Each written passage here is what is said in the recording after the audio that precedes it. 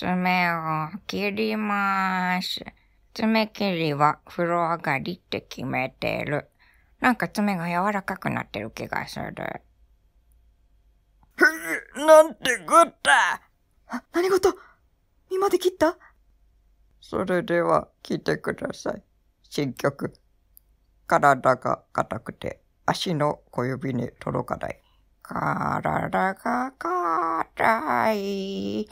なんでこんなに硬い？足の小指が遠い。はまたリサイタル始まった作詞、作曲、無職。ぐぎぎ、ご清聴ありがとうございました。うわ、体硬っ曲がってない曲がってないよ終わり。